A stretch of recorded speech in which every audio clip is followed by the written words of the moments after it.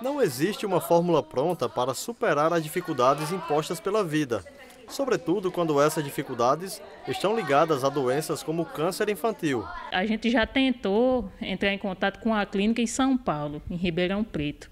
Só que o seguinte, o, o, lá ele só fornece medicamento para em grandes quantidades. Então, se fosse só ele, não vinha de forma alguma. Só se fosse mais pessoas que, com o mesmo caso dele, né, ou precisando do medicamento, olha que poderia vir. Encontrar ajuda em momentos como esse pode ser decisivo para a cura da doença e a manutenção da vida. Quando meu filho chegou aqui, ele não andava e devido à fisioterapia, ele começou a andar.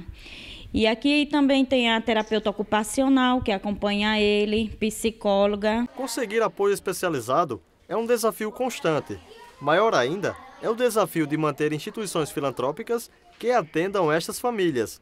Exemplo disso é a Casa do Val Paiva, que comemora 20 anos de existência com um belo histórico de solidariedade. Já passaram pela casa mais de mil crianças e adolescentes. Atualmente nós temos cadastradas 979 crianças e em torno de 500 crianças estão em tratamento, efetivamente. E para continuar com as portas abertas a todos que precisam, o amor ao próximo e o carinho pela vida são valores essenciais cultivados a cada dia. Nos momentos mais difíceis do tratamento, os pacientes e suas famílias recebem um apoio indispensável e são convidados a conhecer um novo mundo, onde a dor e o sofrimento dão espaço à esperança por uma vida duradoura e feliz. Em casos, por exemplo, de pacientes que moram no interior, é extremamente importante, porque aqui eles têm onde ficar, eles têm outros apoios que o hospital é, não, não tem como abraçar, abarcar. A casa é minha segunda casa aqui. Eu digo que é um sentimento de amor e Deus na vida deles, dessas pessoas.